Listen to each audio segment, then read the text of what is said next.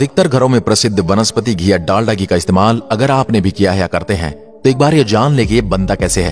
बचपन में आपके घरों में डालडा घी आपने ज़रूर देखा होगा। इसे वनस्पति घी कहा जाता है और असल मायने में सस्ता घी की तरह ही इस्तेमाल की जाने लगा था। लेकिन अभी इतने घरों में नहीं दिखता और इसे कम ही लोग इस्तेमाल करते हैं। वनस्पति घी जिसे सस्ता घी के अगर प्रमोट किया जाता था, वो असल में पाम ऑयल से बनता था और यही कारण है कि इसके डिब्बे पर भी ताड़ के झाड़ की तस्वीर होती थी। गाय का घी काफ़ी महँगा भी होता है, क्योंकि गाय का घी मक्खन से बनाया जाता है। हालाँकि देसी घी महँगा होने के कारण कई लोग मार्केट में मिलने वाले तरह तरह के सस्ते डालडे घी या वेजिटेबल ऑयल का इस्तेमाल करते हैं। लेकिन आज के समय में ज़्यादातर लोग जागरूक हो चुके हैं और अपनी हेल्थ को लेकर काफ़ी कॉन्शियस रहने लगे हैं। इसलिए डालडा घी भी मिलावट और हानि को देखते हुए बहुत कम लोग इसका इस्तेमाल करते हैं।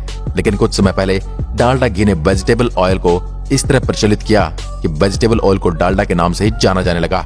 और उस समय डालडा घी की खूब बिक्री हुई, क्योंकि डालडा घी दिखने में बिल्कुल देसी घी के जैसा लगता था। लेकिन आज के समय में बहुत ही कम लोग ऐसे हैं जो डालडा घी का इस्तेमाल करते हैं। तो चलिए, दोस्तों, जानते हैं आखिर ये डालडा घी फैक्ट्री में बनता कैसे है। वेजिटेबल ऑयल बनाने के लिए मेनली ताड़ के बीज या पाम सीड का इस्तेमाल किया जाता है। सबसे पहले ताड़ के बीजों को अलग किया जाता है। अब इन बीजों को छन्नी की मदद से अलग किया जाता है, जिससे इनके छिलके अलग हो जाते हैं। तो इन सभी फलों को गर्म पानी में उबाल लिया जाता है, ताकि थोड़े से नरम हो सके, ताकि इसका तेल निकालने में आसानी हो। अगले स्टेप में इन सभी को इस पावरफुल ग्राइंडर में ग्राइंड किया जाता है, और अब अच्छे से ये पिस चुके हैं।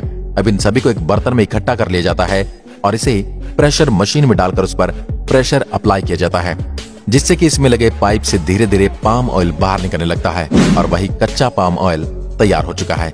अब इस पाम ऑयल को इस मशीन में डालकर रिफाइंड किया जाता है, जिसमें इसमें मौजूद अशुद्धियों को अलग कर लिया जाता है। तो पाम ऑयल रिफाइन हो चुके हैं। अब इसको घी जैसा बनाने के लिए पाम ऑयल को हाइड्रोजन इंसुलेशन किया जाता है। आपको बता दें कि पाम ऑयल में कार्बन में डबल बॉन्ड होते हैं।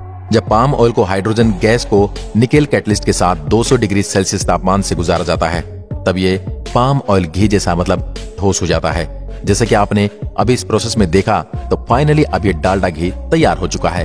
तो अब कुछ इस प्रकार से अलग अलग पैकेट में तथा कंटेनर्स में पैक कर दिया जाता है। दोस्तों, आपको बता दें कि डालडा घी घरों में अब खाना बनाने में बहुत कम ही इस्तेमाल किया जाता है, लेकिन जितने भी फ़ूड और कॉस्मेटिक इंडस्ट्रीज़ हैं, उसमें वेजिटेबल ऑयल का इस्तेमाल किया जाता है। आपके कुरकुरे और चीज़ से लेकर नूडल्स और बिस्किट में भी इसका इस्तेमाल किया जाता है। और आपके साबुन लिपस्टिक और क्रीम में भी इसे वेजिटेबल ऑयल का इस्तेमाल किया जाता है। तो दोस्तों, हमें कमेंट में ज़रूर बताएगा कि हमें तेल का यूज़ खाना बनाने में करना चाहिए। आज के वीडियो में बस इतना ही। धन्यवाद।